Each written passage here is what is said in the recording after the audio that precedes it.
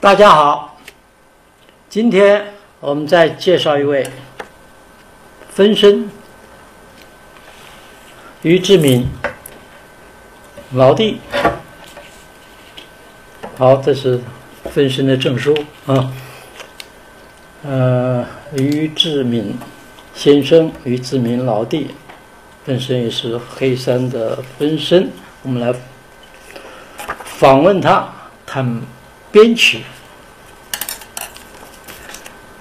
好，我们来看看他的电话：幺五三四三幺六八九六幺，要请教他的，有问题找他干活了等等。电话啊，再念一遍：一五三四三一六八九六幺。好了，我们今天谈些什么呢？我先讲。有几个特点哈，为什么要访问他？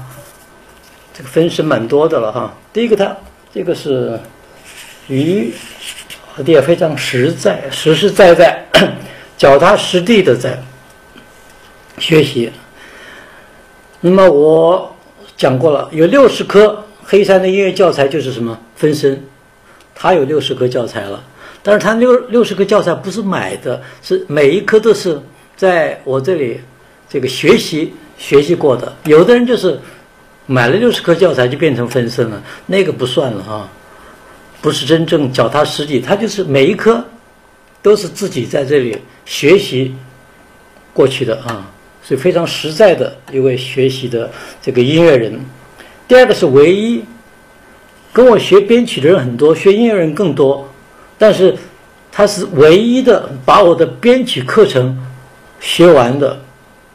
我那课程当然很多，有和声了、编曲了、作曲了、钢琴了、吉他等等。但是在编曲方面的课程，他从这个节奏乐组、小乐队、大乐队、这个管弦乐团，嗯，这些通通都学完了，没有课了。嗯，所以希望他将来能够是什么呀？青出了青出于蓝而胜于蓝哈，把这个编曲好好发挥啊。另外一个，他也是一个榜样，因为。现在我们这里，我发现学音乐的特多就是什么，弹吉他的吉他人，嗯，那后来改成什么，编曲人，嗯，吉他人变成编曲人特别多，他这个典型的榜样。以前就是吉他人玩吉他，那到最后玩编曲，但是玩的有模有有样的哈，所以这个三点很值得介绍的，希望大家有兴趣的可以好好听一听，嗯。在下面我们来看。请于老弟来谈一谈。好了，现在该你谈了。你的音乐背景两部分，高中以前你怎么样？高中以前就是玩乐队呗。玩乐队。对。高一什么样的乐队？就是那时候是靠背什么 Beyond 乐队啊。应该就是四四大件哦。对，四大件。吉他、贝斯、鼓、键盘。在哪里？广州。在海口，海口。海口。你你老家是四川？对对，老家。但你念书跑到？对，因为那个初中毕业以后就去海口读的高中，对，读大学在海口。然后高校也在那边。对对，高中、大学都在都在海南。对对，你是老广。对老广，那时候还能讲几句广东话呢，现在不行了。挺有意思哈。高中以前是在学校里面，对对，跟同学自己玩吉他，组了一个乐队，那有什么鼓啊，都是自己玩。嗯嗯嗯，那大概什么年代啊？呃。九三年开始，嗯嗯嗯，九三年开始，嗯，那高校前后呢，都是玩这个，对，大学也是玩乐队，嗯，对，高中的时候就开始去歌舞厅弹吉他，跟编曲没有关系的，没有关系，没关系，纯粹就玩吉他。对，编曲我是零一年才开始做编曲，不过到现在也十年了。嗯，你说玩了很多年吉他，七八年，七八年乐队搞了七八年乐队，现在还玩吉他吗？呃，弹的少，弹的少，但是还是弹钢琴，现在弹钢琴还是多，嗯。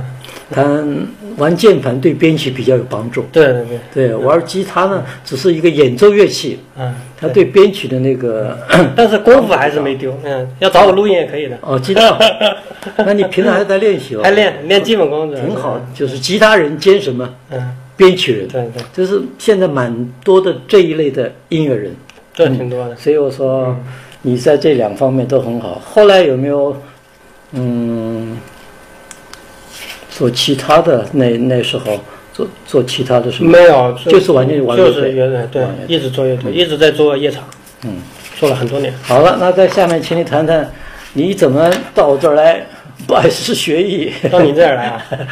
嗯。呃，我想想，过程的上，零零七年，零七年那个，那个也是我另外一个老师李海英先生。哦，李海英老师，对对对，他介绍。你是那时候在他那？没有没有，因为我经常做编曲，跟他有合作啊，有合作。那个时候我已经做了好几年编曲了嘛，但是他觉得，哎，他说小鱼，你的那个和声啊、角色方面的理论可以再提高一下。嗯他说我给你介绍一个老师。嗯嗯嗯。当时其实也一直想系统的学，但是没有。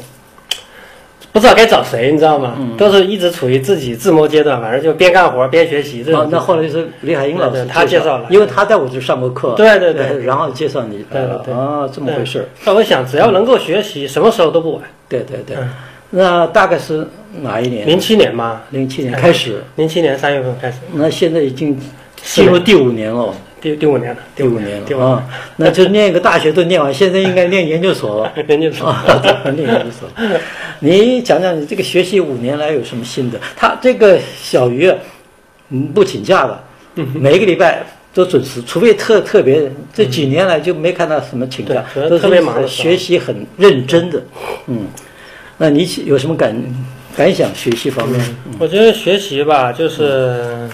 关键是要和我的工作结合，嗯，因为我可能我跟别人不一样，是我学了今天一课以后，嗯，一些内容我就第二天干活我就要把它用进去，嗯我是这样，学这东西，这就是为什么我要很慢的速度来学习，因为我学一个东西，我马上要用在工作，不想很快。对，我不想快，但学一点东西就想能够把它用一用。对对对，学以致用。对对，比如今天学一个学一个应程，明天学一个一个技巧，就是我希望能够马上用在我的工作中。工作里面，对，用到你因为要靠它吃饭。作品里面 是吧？挺好。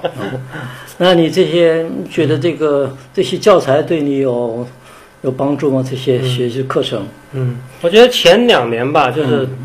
打的底子就是爵士和声的底非常重要。嗯，我觉得这个这个底子，这个是骨干。对对对对，因为做编曲的话，你的和声要一定要过关，强啊，一定要过关。对，当我把和声学完了以后，我才开始去做学编曲。因为我觉得第二重要的就是那些多声部的编曲。嗯，因为平常呃工作中牵涉到我也写很多管弦乐的东西。嗯嗯，挺好。嗯，大概是。好嘞，那我们再看下面，这个是主要的你要今天谈的东西了。嗯，编曲，第一个。类别，那你编曲编了哪些歌曲？就是流行歌曲了。对，呃，电视的电视剧了。对，电视台，哎，电视电视台的电视剧。那电视台还有其他？除了电视剧，还有？没有，就是比方对，给电视写什么片头了？对对对，配乐这些都在写。各种栏目的片头。哦，栏目。栏目。每个每个每个栏目之前都有个音乐。对对对。啊，写那个电影哦，写过吗？电影也写。也写过。嗯。那就是你这个当代的流行这些东西，你是在对对涉足了，挺好。就哪个赚钱做哪个。嗯，那酬劳，我们现在现在讲流行歌曲哈，嗯，就一般一首流行歌曲，现在一外边的行情，低跟高，你大约讲讲，最低的大概多少就可以？嗯，一首流行歌曲，我还真不知道最低多少。最低，你但你想想看，或者听说。嗯，最低这个东西没有没有三千五千，可能甚至更低吧，都有吧，比一千还低啊？嗯，有可能，但是这些都不算在专业的编曲。他那就是用那个什么家里面的 MIDI 做这个做个 demo。嗯，我我个人看法，如果是专业的编曲，我觉得大概在三四千这样吧，起步吧。那起步，对，就是那比较高的呢，有人高的可以拿多少呢？最多到两万，可以到两万啊，大概这样。就是。三千到两万之间，这是编曲的这个行情，要看你个人的功力和别人愿意给你的。对对对。那你是在这个低高之中，是偏高呢，偏低还中间？我在中间，中间挺好啊。嗯，那你用编写的方式，通常是手写呢，还是用软件、电脑，还是在现场这个？编编写还是综合的各种可能。现场以前搞乐队的时候，现场是演奏过。现在主要还是软件，QBS 大家都用这个。都是软件对，用 MIDI。对对。然后电脑总谱呢用西贝柳斯，嗯，写是用那个管弦乐嗯用软件。就是都都有都要用的，对对对对对嗯主要还是用软件为载体，以软件为主，就在。家里面就可以把它做了。对对对对对对。那你这个设备呢？那大概我们介绍一下，嗯，器材啊，要哪些器材啊？器材我呢，监听是 Event 重要 PS 六嗯，声卡是 RM 一的八百，那那然后还有效果器、吉他若干，嗯，电器方面呢？乐器就是吉他呗，钢琴呗，电钢。吉他跟电钢琴。对对对，那软件呢软件就是 Cubase。？Cubase。Cubase Cubase。Cubase 编曲，对，哦，这这这个软件就够了。呃，写谱还不够，但是他也能写。我写谱所以用的是那个西贝柳斯，哦，西贝柳斯啊。嗯，西贝柳斯。好，那你假假如最最简单的，他们看想学的人，刚学编曲的人，学 MIDI 的人，嗯你建议最最少要个什么器材？就是一套 MIDI。对，一条 MIDI 基本的呗，就是一个电脑、一个监听音箱、一个声卡、啊一个 MIDI 键盘就可以了。行，可以。那么乐器呢，就是那个就可以了。乐器就是键盘嘛，MIDI 键盘。MIDI 键盘就够了，软件就是刚讲的对对 Cubase。嗯对对，但是编曲还有别的很多软件。那当然，那当然，那最少这样你就可以开始玩起来了。对对对可以玩个简单的 demo，可以开从这儿开始但是。我们那个年代最早开始编的时候没有这些软件，我们是因为玩乐队嘛，就是打大家叫的排练室，你有什么想法，现场来来。那就是我刚刚讲的用现场的对，那个编编刚开始是那样的，对对后来做了这个编曲以后才换的那个软件。这可以在家里面自己对对对，一个人就能慢慢想把想法，对对对。不会乱七八糟的，对。好了，那你这个录，你写写的东西有的是东西要自己录了。嗯，在录的时候，这个小这个四大件儿，嗯，小乐队、大乐队、管弦乐团，你大概是怎么样的情况？小乐队就一块儿了，四个人，。一般流行歌吧，呃，鼓、贝斯这些录的很少了，一般就录个呃添点吉他，吉他？鼓都是自己做了，除非他预算够，可以录点鼓和贝斯。啊，鼓贝斯通常都不放一块儿录，要录鼓就录贝斯，要不是不录要不要这个实际的鼓跟贝斯？对，就是录真的不哦录真的对对，但是得有预算才行，一般现在编曲都包括这些。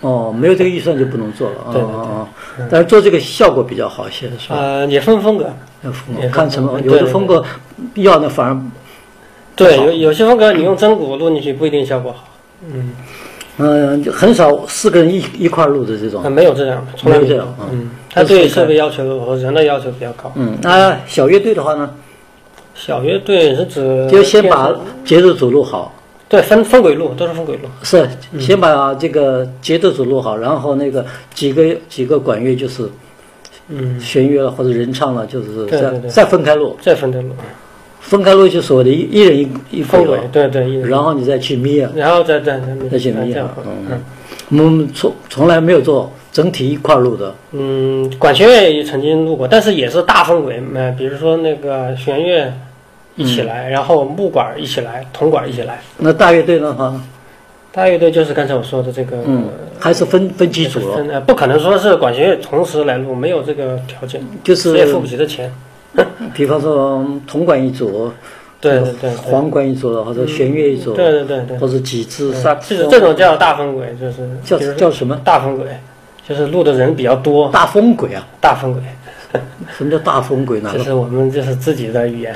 哦，意思就是录风鬼，但是录的哦，人比较分轨，大分分轨，哎，对，啊大分轨，一一一人一步就是分鬼了。对对。哦，这个大分轨，哦，这种情况，那管弦乐团也是一样了，对管弦。叫大分轨。对对，嗯，那这个东西都是你你写完了以后自己去录呢，还是不管交出去就算我了？自己来，都是自己。自己来，对，比较因为交给别人你不放心了就，不晓得他。还有你交给别人，他会产生另外一些费用，就是总谱必须得自己写。哦，费用也多了。对对对，你写完总谱以后，你还得去监棚呢。哦监棚如果找别人也得有费用，什么叫监棚？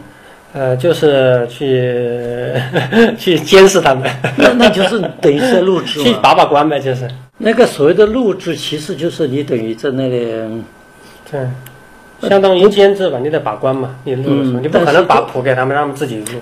嗯，这个这等于总指挥一样了，导演一样了。对对那就是这个不行啊，重来。对对重来，我觉得哪儿不好要停下来，那不是录音师的问题不是录音师的。啊就录音师只管按键。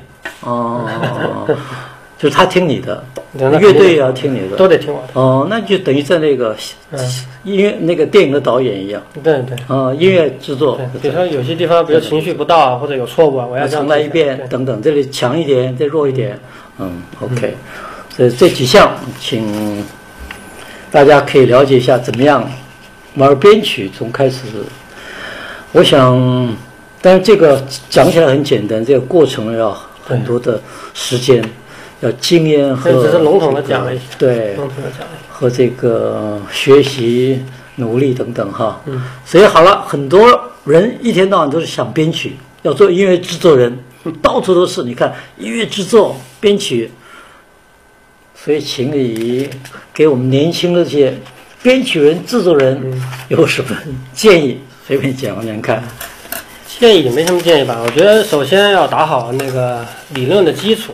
这个恐怕是做什么事情都是这样。对对啊，你盖房子要把地基弄好嘛，啊，你连十二个调都搞不好，你就随便去编曲，恐怕不行了。嗯，而且你还得最好是会一一一样两样的乐器。乐器对。对，因为你会了乐器以后，你了解那个音乐音乐性，对对对。音乐感觉，嗯。你要是什么乐器都不会来，对对。纯纯这么理论去搞也不行。嗯，还有就是多实践，这个一定很重要多时间嗯。所以那还是知识跟经验对，实相辅践相成，甚至实践，我觉得可以走在理论的前面，嗯。胆子要大。嗯，然后觉得哪里需要了，然后再去这个挖掘这个知识，用知识来弥补你这个所谓的技术。嗯。嗯。而且这种学习应该持之以恒。